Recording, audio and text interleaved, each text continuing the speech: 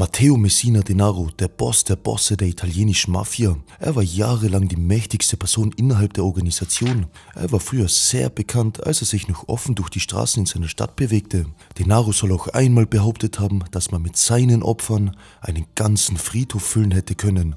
Die Lage wurde dann heiß um ihn und die Behörden erhöhten den Druck rund um ihn und so flüchtete er. Viele von den flüchtigen Personen werden schon nach einer kurzen Zeit wieder gefunden und dingfest gemacht, doch nicht bei Denaro. Er konnte der Strafverfolgung jahrzehntelang entgehen, obwohl die Behörden auch Druck auf seine Verbündeten ausübten. Keiner wusste, wo er sich aufhielt. Es kam auch zu einer Mystifizierung seinerseits. Es gab nur alte Aufnahmen und Phantombilder. Es schien so, als könnte ihn niemand jemals finden. Die Jagd nach Denaro streckte sich dann bis ins Jahre 2023, wo die Behörden ihn endlich finden konnten. Doch er würde keine lange Zeit hinter Gitter verbringen. Heute besprechen wir die Geschichte von Matteo Messina Denaro, dem Boss der Bosse der italienischen Mafia. Wahrscheinlich der bekannteste Mafia-Boss, den die Welt zu dieser Zeit gesehen hat. Doch bevor wir ins Video starten, möchte ich mich noch schnell beim Sponsor des heutigen Videos bedanken. Das Thema Cybersecurity ist auf meinem Kanal ein wiederkehrendes Thema, daher habe ich mich dazu entschieden, mit CyberGhost zusammenzuarbeiten. Da wir im Alltag, aber auch beim Arbeiten meist auf öffentliches Internet angewiesen sind, wollen wir uns vergewissern, dass unsere Verbindung auch sicher ist. Und da kommt CyberGhost ins Spiel.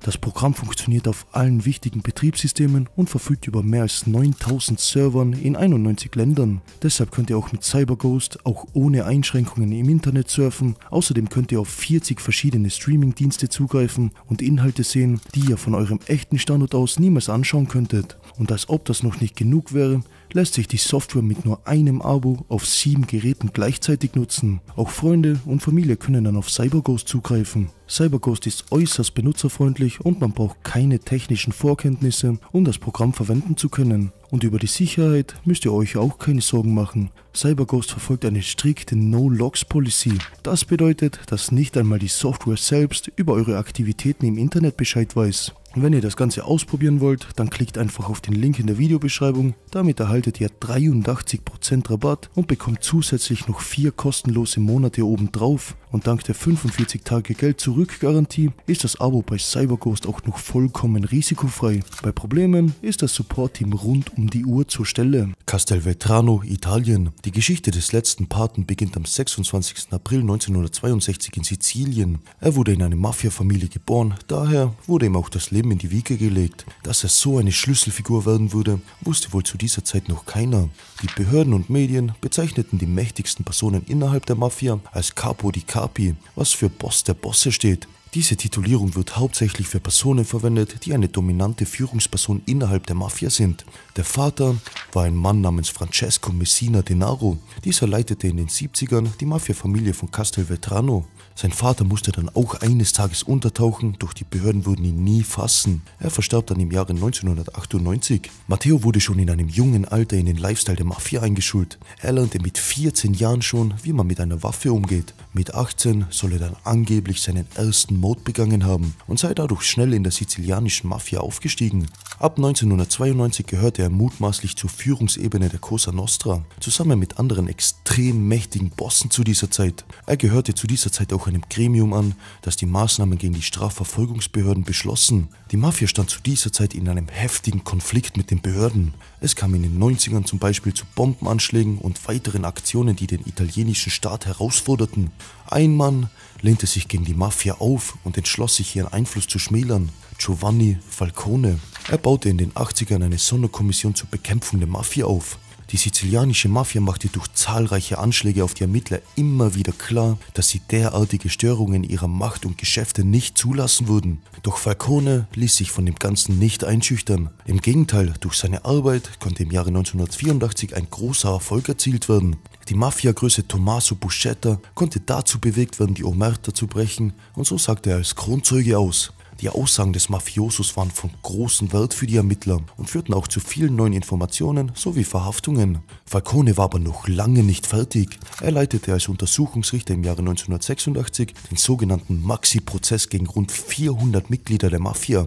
Der Prozess wurde seinem Namen gerecht, denn er dauerte rund 22 Monate, doch es war ein voller Erfolg für die Ermittler. Falcone war wohl für die Mafia eine zu große Gefahr geworden, daher entschieden sie sich dazu, ihn aus dem Weg zu räumen. Wir schreiben den 23. Mai 1992. Falcone war gerade mit seiner Frau auf dem Weg zu seinem Wochenendhaus. Falcone stand unter Polizeischutz und so wurde er von drei gepanzerten Wagen begleitet. Doch die Mafia wusste wohl genau, wo er sich an diesem Tag befinden würde.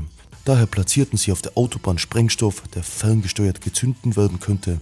Das erste Auto der Kolonne hatte keine Chance und wurde mit voller Wucht erwischt. Falcone saß im zweiten Auto, er konnte noch in ein Krankenhaus gebracht werden, aber er erlag seinen Verletzungen. 20 Jahre nach dem Attentat konnten die Behörden den mutmaßlichen Lieferanten des Sprengstoffes verhaften. Dabei handelte es sich um einen Fischer. Ein Geständnis eines früheren Mafioso hatte die Ermittler auf seine Spur gebracht. Das Attentat auf Falcone stürzte Italien in eine regelrechte Krise. Nicht zuletzt wegen des berechtigten Verdachts, dass seine streng geheim gehaltene Ankunft von Mitarbeitern im innersten Kreis der Staatsmacht verraten worden war. Die Lage wurde immer heißer rund um Matteo Messina Denaro. Daher tauchte er im Jahre 1993 im Alter von 31 Jahren ohne eine Spur zu hinterlassen unter. Er wurde dann im Mai 2002 während seiner Abwesenheit zu einer lebenslänglichen Haftstrafe verurteilt. Im Jahre 1993 wurde ein Grundstück von den Behörden durchsucht, was Denaro gehörte, und dort fanden sie einen Brief, der an seine vormalige Freundin gerichtet war. Dort schrieb er, ich muss gehen, aber ich kann dir die Gründe dafür nicht erklären. Momentan spricht vieles gegen mich. Ich kämpfe für eine Sache, welche in dieser Zeit noch nicht verstanden werden kann. Aber eines Tages werden die Menschen sehen, dass ich auf der richtigen Seite gestanden habe.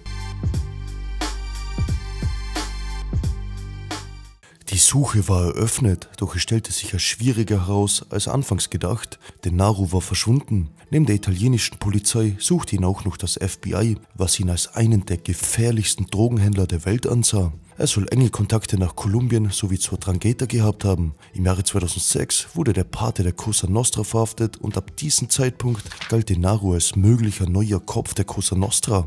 Er entkam des Öfteren seiner Verhaftung nur knapp. Im Jahre 2000 griffen die Behörden auf einem Grundstück in Branzazio zu, doch er konnte noch einmal flüchten. Die Quellen gehen davon aus, dass er generell die meiste Zeit seiner Flucht in Italien verbrachte. Die Behörden kamen jedoch einfach nicht an ihn dran. Daher versuchten sie den Druck auf ihn zu erhöhen, indem sie sein Umfeld dingfest machten. Sein Bruder Salvatore Messina Denaro soll wohl als Vermittler und enger Vertrauter von Matteo fungiert haben. Die Behörden konnten ihn dann im Jahre 2010 verhaften. Der Plan der Behörden war es, Denaro durch seine Festnahmen und Beschlagnahmungen von seinem Umfeld zu isolieren. Denaro soll sich aber ein Netzwerk von Komplizen in Sizilien aufgebaut haben. Daher kam er immer wieder den Verhaftungen aus dem Weg. Am 13. März 2018 wurden unter anderem zwölf Männer gefasst, die mit Denaro in Verbindung gestanden haben. Es war dann schlussendlich die Erkrankung, die die Behörden auf die Spur von Denaro brachte.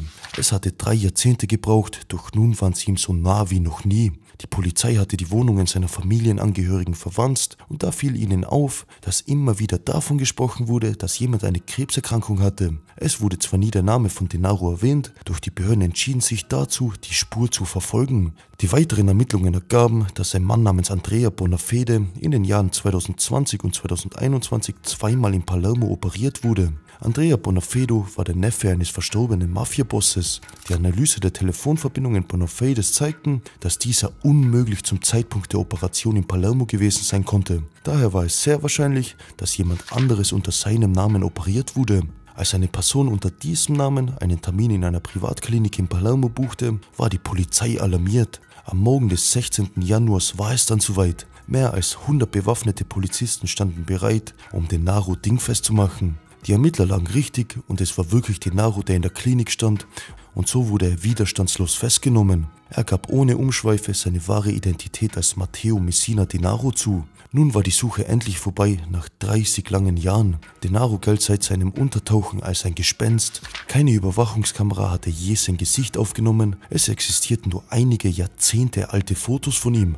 Er kommunizierte auch nur über schriftliche und verschlüsselte Nachrichten mit seinen Untergebenen. Die Geschichte von Matteo Messina Denaro endete dann am 25. September 2023 in einem Krankenhaus. Er erlag seiner Krankheit. Bis zuletzt weigerte er sich mit den Justizbehörden zusammenzuarbeiten. Das war die Geschichte des letzten Boss der Bosse Matteo Messina Denaro. Lasst mir gerne eure Meinung dazu in den Kommentaren da.